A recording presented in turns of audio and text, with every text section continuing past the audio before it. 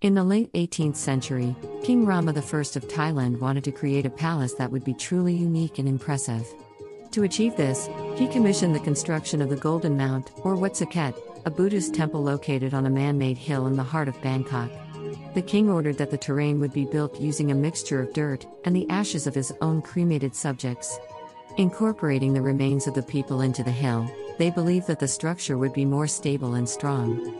The Golden Mount still stands today as a popular tourist attraction and is considered one of the most unique and beautiful temples in Thailand. Follow for more bizarre facts about the whole world.